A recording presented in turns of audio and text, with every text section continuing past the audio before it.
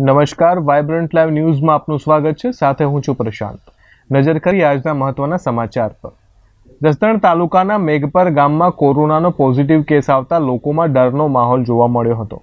કોરોનાનો positive case આવતા મેઘપર ગામમાંથી સાહીઠથી વધારે લોકોના સેમ્પલો લેવામાં આવ્યા હતા.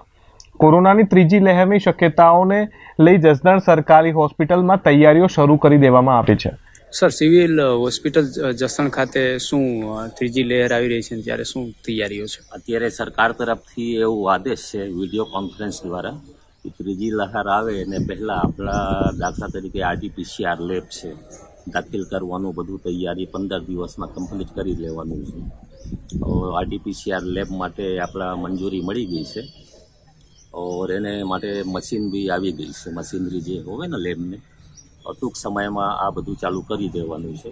જેમાં આરટીપીસીઆર લેબ આપણા રિપોર્ટ જે છે એ આપણા મોકલતા હતા પીડીઓ હોસ્પિટલ રાજકોટ.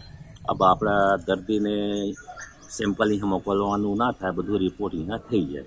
સર કેટલા બેડો તૈયાર કરવામાં આવે છે? શું વ્યવસ્થા કરવામાં આવી છે? ઓક્સિજન લઈને લઈને વેન્ટિલેટર આપણા પાસે પીએસએ પ્લાન છે ઓક્સિજનને ફૂલ વ્યવસ્થા છે.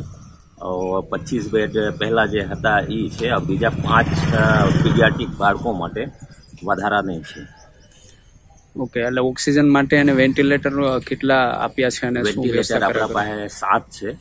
ઓર એમાં ટૂંક સમયમાં એ બધું ઇન્સ્ટોલ કરી દેવાનું છે. એટલે જે વ્યવસ્થા સિવિલ રાજકોટમાં હતી એ અહીંયા થઈ જાય.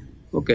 લેબની અંદર કેટલા દિવસમાં અંદાજિત ચાલુ થઈ જાય? કેમ કે ટૂંક જ સમયમાં ત્રીજી લેયર આવી રહી છે એને માટે ફૂલ તૈયારી છે. ઉપરથી સરકાર તરફથી બી પ્રેશર છે કે પંદર દિવસની અંદર આ બધું કમ્પ્લીટ કરી દેવાનું બીજી તરફ જસદણની સરકારી હોસ્પિટલમાં કોરોનાની ત્રીજી લહેરને લઈને કોરોના વોર્ડ શરૂ કરી દેવામાં આવ્યો છે જેના અંતર્ગત આરટીપીસીઆર લેબ પણ જસદણ ખાતે શરૂ કરવામાં આવી છે. આ ઉપરાંત સાત વેન્ટિલેટર પચીસ લોકોને મળી રહે તેવો ઓક્સિજન પ્લાન્ટ પણ તૈયાર કરવામાં આવ્યો છે. સાથે જ પચાસ ઓક્સિજન બોટલ સહિતની સુવિધાઓ શરૂ કરી દેવામાં આવી છે. તો સમાચારમાં હાલ બસ આટલું જ. વધુ માહિતી માટે જોતા રહો વાઇબ્રન્ટ લાઈવ ન્યૂઝ નિર્ભય સત્ય, જનતાનો અવાજ. ધન્યવાદ.